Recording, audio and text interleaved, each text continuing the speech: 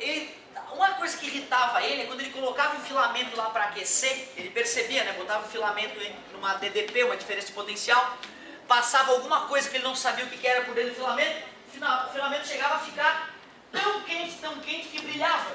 Só que logo, logo depois pegava fogo e a lâmpada dele queimava. Ele testou milhares de materiais diferentes para tentar fazer o filamento da lâmpada e sempre queimava. Ele ficou tão puto e tão revoltado à beira do desespero de desistir já do negócio. Ele pensou, já que está toda hora queimando essa merda, eu vou botar uma coisa já queimada ali. Vou pegar de carvão. Ele pegou um pedacinho de carvão e colocou. E aí pronto, brilhou e não queimou mais. Já estava queimado mesmo, né? Ficou incandescente Claro que essas lâmpadas das quais estou falando eram lâmpadas que brilhavam mal e porcamente, comparado com as nossas lâmpadas modernas. Os engenheiros depois resolveram isso usando um filamento de material que derrete só a temperaturas altíssimas, o tungstênio. Aquele filamento de tungstênio chega nas lâmpadas das casas de vocês a 900 graus, bicho. 900 graus é quente para dedéu. Outra, aqui dentro ó, não tem ar, na verdade, tem um outro tipo de ar, o argônio, um elemento da tabela periódica, um gás nobre. Característica dos gases nobres, eles têm a última camada eletrônica completa e, portanto, não reagem com outros átomos. Concordam comigo? Por que usar argônio ali? Com a temperatura do tungstênio elevada ali, se tiver alguma molécula de oxigênio, um, um átomo de oxigênio, certo? Seja na molécula de gás oxigênio O2, seja monoatômico, apenas O, ele vai reagir com o tungstênio, oxidando o tungstênio, fazendo o tungstênio enferrujar. E a lâmpada queimaria na hora, mesmo sendo tungstênio. Ou seja, a lâmpada incandescente tem um filamento de tungstênio para aguentar a alta temperatura e é recheada com gás nobre, argônio, para que esse filamento não oxide devido à alta temperatura. Certo? Mas, pelo fato de ela aquecer demasiadamente para poder brilhar, mostra que parte da energia elétrica que nós estamos usando para alimentar a lâmpada está sendo convertida em temperatura alta. E não é o objetivo da lâmpada. A lâmpada, o objetivo dela é aquecer, é iluminar. Por isso que se a lâmpada tiver uma origem luminescente, ela vai ser mais eficiente do que a incandescente. Incandescente emite luz a alta temperatura. É a alta temperatura que faz a coisa brilhar. Luminescente é a fonte de luz que emite luz a baixa temperatura. E aí olha quantos tipos diferentes. Bioluminescente não precisa comentar, né? É uma forma de vida que emite luz. Vagalume é o clássico, profunde, é, peixes de profundezas abissais também, né? Alguns deles emitem luz por conta própria. Quimioluminescente. Quimioluminescente também não tem graça, porque o nome já está dizendo, ó, é uma reação química que está liberando a luz. A famosa pulseirinha da rave. O cara quebra a pulseirinha, duas substâncias vão se misturar ali e vão começar a liberar luz. Ou também tem aquele bastão, né? O, o herói tá para salvar o mundo no filme lá de ação. Aí faltou luz. Aí tem um bastãozinho na mão, ele quebra, né? O bastãozinho começa a, a fazer uma reação química e brilhar. É... A distinção mais perigosa, eu diria, que é a da fluorescente e fosforescente. Essa lâmpada, o que, que ela é? fluorescente. Quando eu vou lá e corto a energia elétrica que passa por ela, ela para de brilhar, né? Eu devolvo o estímulo que é a corrente elétrica, volta a brilhar. Gases a baixa pressão, quando percorridos por corrente elétrica, emitem luz, certo? É o efeito luminoso da corrente elétrica que a gente chama. A corrente elétrica tem vários efeitos, né? Um deles é o efeito luminoso. Observem, observem que algo fosforescente não é assim. Fluorescente, então, por que ela é dita fluorescente? Porque ela brilha enquanto é estimulada. Corta o estímulo, acaba o brilho. As coisas fosforescentes, elas continuam brilhando mesmo quando o estímulo acaba. Um exemplo bom de fosforescência são aqueles adesivinhos que antigamente a gente comprava no Paraguai e colava no teto do quarto das crianças para ficar um céu estrelado no teto. Aconteceu com vocês também? Comigo aconteceu. Bom, quando papai e mamãe vieram do Pará com aqueles adesivos, colaram, né, fizeram as Três Marias, o Cruzeiro do Sul, aquela frescurada toda. E aí então eu fiquei encantado na primeira vez que eu apaguei a luz. Né? E o que me chamava a atenção é o fato de de manhã cedo ainda ter um certo brilho ainda no teto do quarto. Como explicar, né, da onde vem aquela maldita luz, já que a luz estava apagada? Na verdade, o que acontece é que aquele material fosforescente absorve a luz ambiente e já brilha na hora, ele já absorve um pouco da luz e já começa a brilhar na hora. Por que, que eu não vejo os adesivinhos brilhando quando a luz do quarto está acesa? Porque a luz do quarto brilha mais forte do que os adesivos. Assim como agora, no céu, Está cheio de estrelas ali no céu. Eu só não enxergo a luz das estrelas porque a luz do sol é muito mais forte e ofusca a luz das estrelas. Quem curtiu o eclipse né, pela televisão aí, o recente eclipse que teve, percebeu que nas regiões onde o sol ficava eclipsado, o céu estrelado aparecia na hora. O brilho do sol voltava a ser mais forte que o brilho das estrelas, as estrelas se apagavam, entre aspas. Bom, que eu estou querendo dizer que o material fosforescente, ele já está brilhando. Alguns interruptores daqueles são fosforescentes, já viram na casa de vocês? Para a gente poder enxergar o interruptor à noite, né? Ele brilha. Se, ele fosse, se esse aí fosse um dos casos, ele já estaria brilhando agora. Eu só não percebo o brilho porque o brilho da lâmpada é mais intenso. E por que, que ele já está brilhando? Porque tem luz ambiente batendo nele. Quando eu desligo a luz ambiente, parte dessa luz ambiente absorvida foi armazenada quimicamente no objeto, no material. Energia química, que vai ser expelida na forma de fótons de luz aos poucos. Mas será que eu posso deixar o material fosforescente no escuro para sempre? Ele vai continuar brilhando para sempre? Não, né? Se eu falei que era energia química que estava armazenada nele, uma hora essa energia química se extingue e o material para de brilhar. Ou seja, material fosforescente, ele brilha enquanto estimulado, mas também após o estímulo. Ele continua emitindo luz após o estímulo, diferente da lâmpada fluorescente, que depois que tu apaga a corrente elétrica, ela apaga. Alguns de vocês já viram as lâmpadas fluorescentes dando uma brilhada mesmo depois de desligada? Já perceberam?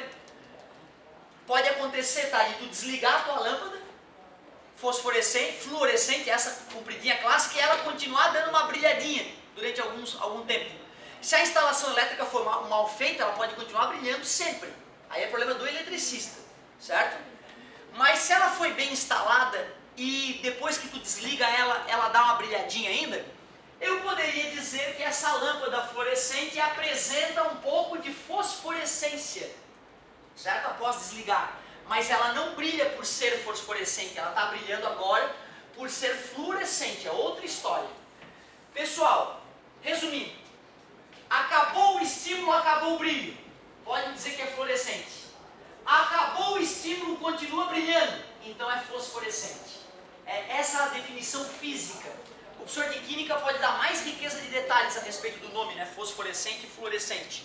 Mas na física o que define uma e outra é o quando brilha. Se após o estímulo continua brilhando, fosforescência. Mas o filé mesmo começa agora. Até agora foi, de certa forma, introdução teórica. Agora a coisa vai começar a ficar mais divertida. Galera, quando a gente vai estudar a reflexão da luz, primeiro tem que ter uma superfície refletora definida já. Então, superfície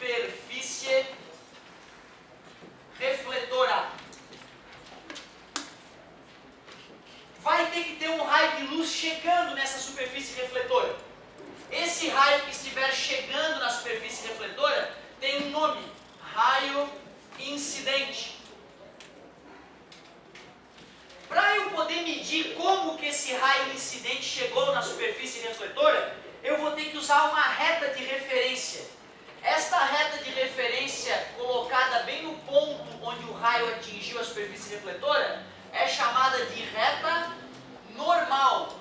Não se esqueçam, na física normal não é o contrário de anormal, é perpendicular. Na física normal significa 90 graus. Ó, eu estou normal ao chão. Viu? O senhor de física também pode ser normal. Beleza? É, não é real, ó, estou normal. Certo? Assim, se eu ficar assim, agora eu estou oblíquo ao chão, né? certo? Ou eu estou longitudinal à parede, não estou normal em relação à parede. Beleza? Reta normal porque ela é normal.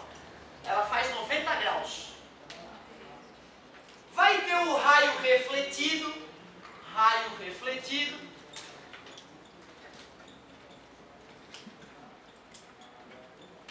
Mas a galera mais importante aqui nesse, nesse esqueminha que eu estou mostrando para vocês são esses caras aqui, ó. Esse e esse aqui.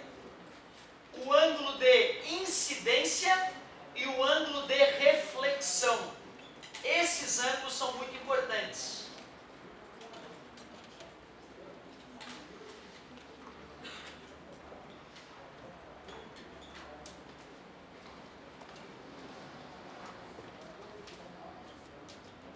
reflexão. Olha só, a primeira lei da reflexão, a primeira lei da reflexão, ela é muito importante, embora o pessoal às vezes não dê tanta importância para ela. Para te mostrar como tu já sabe ela, eu vou pegar uma bolinha que está na minha mão, bolinha virtual, e vou jogar na mesa de um de vocês.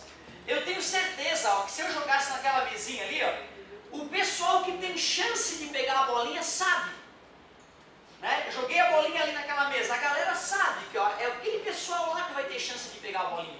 Se eu jogo a bolinha daqui, ó, naquela mesa, a galera que vai catar a bolinha tá para lá. Ó. Se eu jogo a bolinha nessa mesa aqui, quem tem chance de catar a bolinha é a galera que está para lá. Mesmo sem aula de física, tu já saberia disso.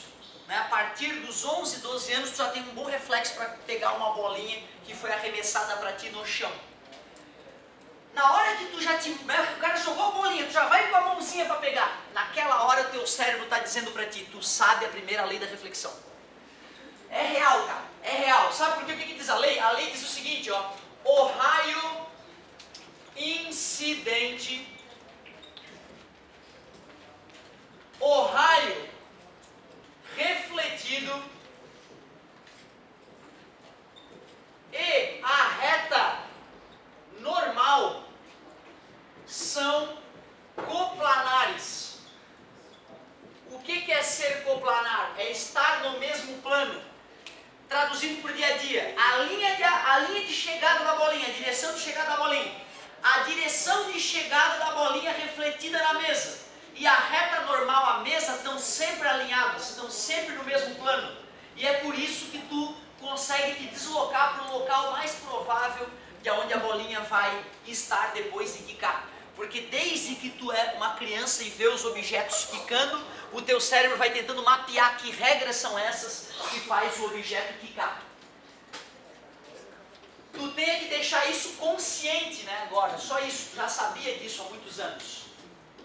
E tem muita gente que confunde a primeira lei com a segunda lei. A segunda lei é a mais usada. E aí a galera pode confundir a ordem delas. A segunda lei é que diz que o ângulo de incidência é o mesmo ângulo de reflexão. O cara que joga tênis, o cara que, né, que passa uma bola de handebol ou basquete para o outro quicando no chão, quando a gente consegue fazer essa conexão tranquilamente, é só prova de que a gente já sabe, mesmo que inconscientemente, as leis da reflexão. Cuidado, tá, gente? Não vale aqui tu pegar a bola e girar ela na hora de passar. Ela vai ter efeito, né? vai bater no chão e vai para outro lugar. Outra, vamos esquecer temporariamente os morrinhos artilheiros. Certo? Tem morrinho artilheiro, a bolinha quicou e foi para o lado. Não é que naquele momento a lei tenha sido violada, em hipótese nenhuma. A lei é lei. Ela sempre vai ser respeitada. Mas nós já vamos mostrar por que, que às vezes tu pode te confundir na hora de usar essas leis da reflexão.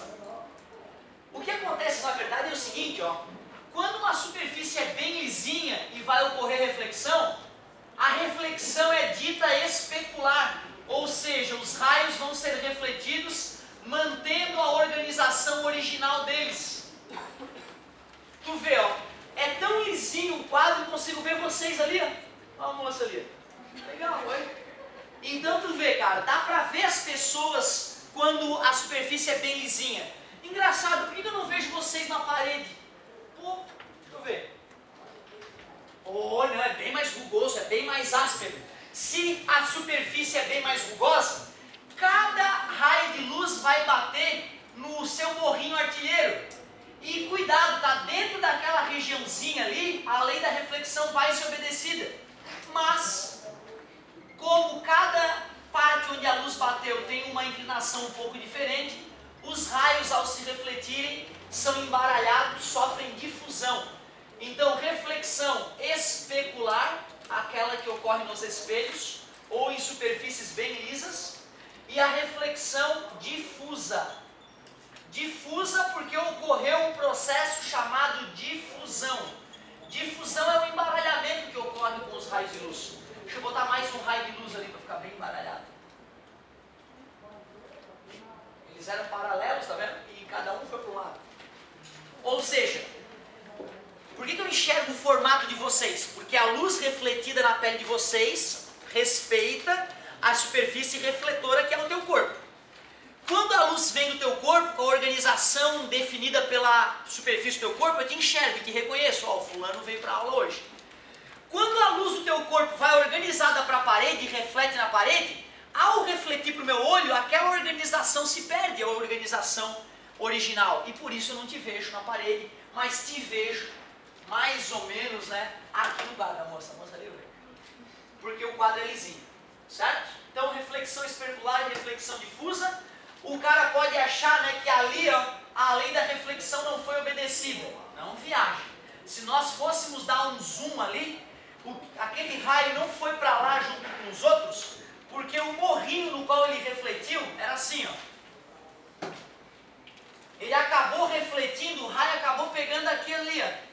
E ali tinha uma superfíciezinha de reflexão, ó. Dentro daquela superfíciezinha de reflexão, a reta normal estava ali, o ângulo de incidência foi sim igual ao ângulo de reflexão. Tá? Então a lei da reflexão foi obedecida.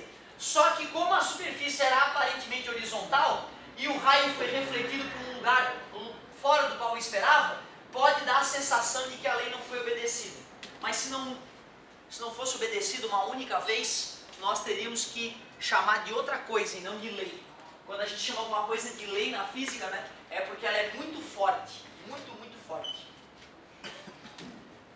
Meu querido, já dá para começar a entender a alucinação que ocorre em nossos cérebros quando olhamos para um espelho plano. Vou comentar com vocês agora espelho plano. Fazer assim, fazer ele na vertical, como é geralmente. Né? Cara, ó, eu já vi cair em questão discursiva para o cara desenhar um objeto no espelho plano, desenhar um objeto no espelho plano usando os raios refletidos no espelho. Olha que desafiador seria isso. Tenho lá um objeto e quero desenhar a imagem gerada por esse objeto no espelho plano. Se o cara já decorou que a imagem no espelho plano é do mesmo tamanho, virtual, direita e reversa, o cara só chega lá e só desenha a imagem, ele já sabe onde é que ela vai estar. Ele sabe que a distância do objeto à imagem é a mesma distância da imagem ao espelho. Falei errado, o objeto ao espelho é a mesma da imagem ao espelho. Só que numa questão discursiva isso não é o suficiente, tá? Numa questão discursiva, para tu ganhar todo o ponto desenhando a imagem, terias que proceder assim, ó. Será que existe um raio de luz que sai do objeto e atinge o espelho dessa maneira? Com certeza, já que são infinitos, né? Esse tem que existir, né? Como é que ele seria refletido? Para onde é que ele iria? Ele volta. Volta como? Sobre ele mesmo. Por quê, galera? Qual foi o ângulo de incidência? Qual é o ângulo de reflexão? O ângulo de incidência foi zero. E o ângulo de reflexão é zero. Tudo bem para vocês? Não se esqueçam que o ângulo de reflexão é medido com a reta normal. E a reta normal estaria ali mesmo, né? Eu falo isso que muita gente pensa, ah, foi de 90 graus o ângulo. Uh -uh. O raio faz 90 graus com o espelho. Né? Mas o ângulo de incidência, que é medido com a reta normal, foi zero. Se o raio chega aqui em cima da reta normal, ele vai voltar sobre a própria reta normal. Ângulo de incidência zero. Sem dúvida esse raio foi honesto. Será que existe um raio que atinge o espelho naquela região ali? Sim, são infinitos, né? Aí tem a famosa reta normal. Como é que eu vou desenhar o raio refletido? Para que o ângulo de incidência seja igual ao ângulo de reflexão, seja igual ao ângulo de reflexão, aceitas isso que eu fiz? Tu observa que eu usei um macete geométrico, né?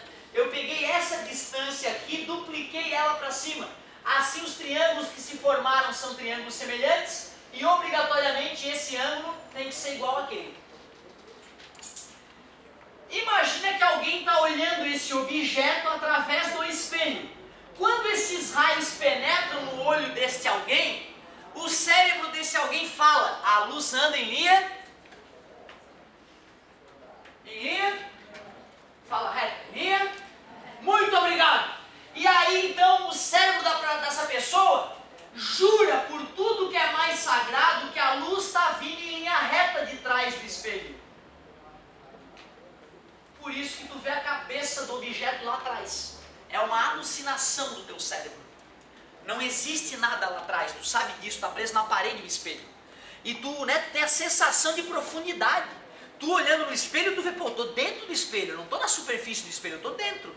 E na verdade aquilo é uma alucinação que o teu cérebro produz, porque o teu cérebro entende que a luz anda em linha reta. Só, mas eu sei que o objeto está na frente do espelho. É, tu sabe isso depois de alguns anos, né? Olhando para o espelho e estudando um pouco de física. Mas muita gente já tentou entrar dentro do espelho. Não de propósito, é porque não se vê. Tá? Tem um espelho bonito ali, a pessoa vem por aqui e acha que é uma porta. E aí ela vem e pau! Tanto que tem lei obrigando que no meio do espelho tem um adesivo, mostrando que aquilo ali é um espelho. Certo? É proibido em lugar público tu botar um espelho grande em qualquer lugar que as pessoas vão direto achando que é uma porta. O cérebro fica tão convencido da profundidade que o cara passa reto. Outra, em ambientes pequenos, o arquiteto bota um monte de espelho para o cara alucinado achar que o ambiente é grande. Isso é uma técnica absolutamente válida. Será que existe esse raio que sai do pé do objeto e bate em cheio no espelho? Com certeza, né? Será que existe um raio de luz que atinge o espelho naquela posição? Com certeza, faz a reta normal, usa o macete da sinuca, ó. Galera que joga sinuca usa esse macete direto. Depois eu explico por quê. Fazendo dessa maneira um ângulo de incidência igual ao ângulo de reflexão. Aí eu estou olhando o objeto no espelho. Esse raio de luz entra pela pupila, esse raio de luz entra, não esses, né? Esses aqui não conseguiriam entrar na minha pupila, né? minúscula. Né? Se o ângulo fosse menorzinho, eu estou olhando daqui, a luz refletida no espelho entra no meu olho. Meu cérebro diz, a luz anda em linha reta.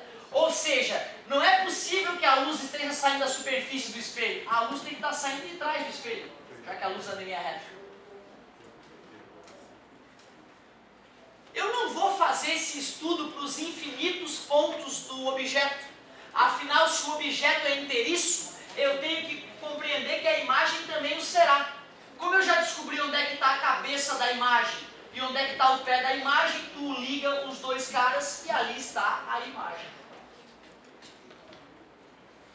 A partir do objeto, nós obtivemos a imagem. Deixa eu ver se eu acertei. 1, 2, 3, 4, 5. 1, 2, 3, 4, 5, acertei. A posição do objeto é a mesma posição da imagem em relação ao espelho, certo? Vamos colocar as características aqui, características, características da imagem gerada por um espelho plano. Mesmo tamanho, aceitável? Mesmo tamanho. Direita. O que, que significa dizer direita? Que se o objeto está de cabeça para cima, a imagem também vai estar de cabeça para cima. Se algum dia tu te vê de cabeça para baixo no espelho, chama um padre, que é um efeito paranormal. Espelho plano. Chama um dos bons, tá? Dos bons. Ó, espelho plano. A imagem também é dita virtual, virtual porque ela não existe na prática. Aquilo que tu enxerga é uma alucinação produzida pelo teu cérebro. Eu não posso pegar aquilo que tu vê atrás do espelho e projetar numa parede. Como é que eu vou saber? professor, quando é que é virtual, quando que não é? Se a imagem é feita de prolongamentos do raio de luz, ela é virtual.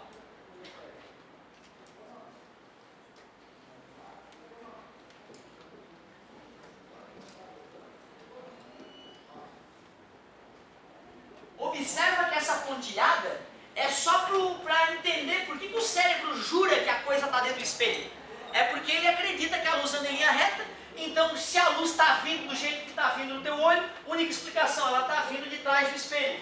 Aqueles prolongamentos não existem na prática. Nós fazemos aqueles prolongamentos para entender o que está acontecendo dentro do nosso cérebro. Sempre que uma imagem é feita de prolongamentos, ela é dita virtual e ela não é projetável. A imagem do cinema lá, que é projetada na tela do cinema, ela é uma imagem real. Até porque se ela fosse virtual, não apareceria projetada na tela. Uma coisa importante é o seguinte, ó. Imaginem vocês que esse objeto tenha duas cabeças. Uma segunda cabeça ali. Eu poderia fazer a mesma coisa que eu fiz com aquele ponto objeto ali, né? Concorda comigo? Tirar quantos raios dali? Infinitos saindo dali, mas quantos eu preciso desenhar? Tu viu que só dois era o suficiente, né? Desses infinitos eu escolho dois. Eu vou escolher aquele que bate em cheio no espelho e volta sobre ele mesmo, que é o mais gostoso de desenhar, e escolho outro raio qualquer. Quando eu fizer o prolongamento dos raios refletidos, o ponto imagem vai aparecer ali, ó. E aí eu poderia desenhar a segunda cabeça da imagem. Observa que quando a, a cabeça do objeto está virada para a direita, a cabeça da imagem ficou virada para a esquerda, provando que não era o objeto. Quando tu levanta tua mão direita no espelho, a coisa que está lá levanta a mão esquerda dela, mostrando que não é tu. Certo? Não é tu aquilo lá, aquilo lá é tua imagem. Concorda comigo? Uns japinha inventaram, tá? Um espelho que tu levanta a mão direita e o espelho levanta a mão direita também. Eu não sei pra que que inventaram essa merda, porque até pra espremer espinha deve ser ruim, certo? Mas, de qualquer forma, os caras inventaram isso. Deve ser muito absurdo, né? Tu levanta tua mão direita, a coisa levanta a mão direita dela. Certo? É muito assustador. Virtual, como é o nome que se dá a esse fato de tu levantar a mão direita, a imagem levantar a mão esquerda? A gente chama isso de re, rever, reversa. Reversa. Para ficar chique, tu pode dizer que a imagem é enantiomorfa. Aí ficou chique, né? A imagem gerada por um espelho plano é enantiomorfa. Ah, para, reversa. Reversa mais divertido. Explica por que, que ambulância lido direto na ambulância fica esquisitão, né? Porque ela foi feita para o cara que está no retrovisor do carro, né? No carro, olhar para o retrovisor e ler a ambulância já após a reversão da imagem. Olha só que interessante. Vamos analisar o que acontece quando a gente muda um espelho plano de lugar. Vamos ver o que acontece com a imagem do espelho após a mudança. Ah, deixa eu dividir uma coisa contigo. Deixa eu dividir uma coisa contigo. Quando o professor mostrou isso no terceirão, lá em 99, eu olhei aquilo e falei, é, eu não vi a realidade, entendeu? Eu não olhei assim, porra, isso aqui é real mesmo. Eu pensei, né? É bom o Miguel, Miguel é bom esse aí. E aceitei o Miguel do cara, entendeu? Ou seja, eu fazia o desenho bem feliz, acertava no vestibular. Fui fazer engenharia mecânica, voltei a estudar ótica mal e porcamente, que na física eu estudo de verdade ótica. E mesmo assim eu, eu cheguei a dar aula disso. Dava aula, mostrava pra galera, mas no meu coração eu não aceitava aquele desenho como parte da realidade. Foi depois de uma década estudando física que eu olhei o meu hard, que é a minha Bíblia sagrada lá para estudar física, olhei um desenho tão idiota quanto esse meu, e naquele dia, não sei o que deu no meu cérebro, formou umas sinapses diferentes, e naquele dia eu. É verdade, aquele desenho não é uma idiotice que eu contava para a galera, é a pura verdade. A luz se reflete assim. Eu demorei, entendeu, a perceber que aquilo representa a realidade mesmo da luz refletida no espelho. Eu achava que era um migué, que era um desenhozinho que explicava legal as coisas, mas não. Aquilo ali é fato. Uma coisa que me atrapalhava entender, eu pensava assim, professora, eu pensava, ô, ô idiota, vai lá e faz outro raio, quero ver, muda o ângulo que tu usou para ver se não vai ficar tudo torto. Em em casa eu fui fazer, né? Eu fui pegar o. e fui botar um outro raio de luz. Se existe infinito, se existe esse também, né? E aí tu faz a reta, tu pega essa distância aí, duplica, né? Para fazer o raio refletido. E o pior, cara, quando tu prolonga, ele bate no mesmo ponto. Ou seja, não importa como tu vai fazer o desenho. Se tu obedecer as regras, tu e o carinha do Turcomenistão vão fazer o mesmo desenho. Certo? Representando a mesma realidade diante do espelho. Não quer dizer que hoje tu tenha que entender essa história do, da luz entrar no teu olho, teu cérebro alucinar achando que a luz anda em linha reta. Pode ser que demore uma década como aconteceu comigo. Certo? Te juro, cara, eu só fui entender do fundo do coração esse desenho tosco depois de 10 anos que eu estudei o fenômeno. É muito triste física por isso. Às vezes demora muito tempo para entender o que está acontecendo. Vamos mudar a posição do espelho do espelho para ver o que vai acontecer? Vamos estudar trans. Quanto tempo tem? Quanto tempo tem? Quê? Dois minutos é o que eu preciso! Ah! Olha só! Estou eu diante do espelho. Esbelto, forte, olha só. Dois metros. E aí tu sabe que eu vou me enxergar a dois metros do espelho. Tudo bem para vocês? Imaginem vocês que eu pego um espelho e desloco o espelho para trás um metro. Não! Mas eu fiquei parado, tá gente? Eu continuei parado no mesmo local. Qual é a nova distância entre eu e o espelho? Estava a dois metros, afastei o espelho um metro para trás. Dois mais um na matemática profunda, três. Muito bem. Quer dizer que a minha imagem vai estar aqui distância do espelho? Três metros. Eu te pergunto, qual é a distância entre eu e a minha imagem após o deslocar do espelho? Seis. E qual era a distância original? 4. Eu pergunto a vocês: quanto a imagem se deslocou quando eu afastei o espelho apenas um metro? 2 metros. Conclusão: quando eu translado o espelho x metros na frente do objeto, a imagem transladará duas vezes esse valor. Isso vai ocorrer ao mesmo tempo vai ocorrer com atraso, com delay? Quando eu mexer o espelho, eu vou ter que ficar esperando a imagem se reposicionar ou é na hora? para o tempo humanoide aqui é na hora. Quer dizer que se eu fiz isso em um segundo, qual foi a velocidade do espelho? Um metro por segundo, não é isso? E a imagem? Ela andou dois metros no mesmo tempo, não é? Logo concluímos duas coisas nesse final de aula. Que quando eu traslado o espelho, o espelho, a imagem mexe o dobro do espelho, com o dobro da velocidade. Concorda comigo? Isso só seria errado se eu mexer o espelho na velocidade da luz. Porque a imagem não pode ter o dobro da velocidade da luz, né? Nesse caso, tem que esperar a imagem chegar. Tavas rindo, né? Mas é verdade. Tu vê, se eu mexer o espelho na velocidade da luz, a imagem não vai chegar no lugar dela na hora. Porque ela teria que se deslocar no dobro da velocidade da luz para isso acontecer, né? Mas é outra história. Valeu, galera!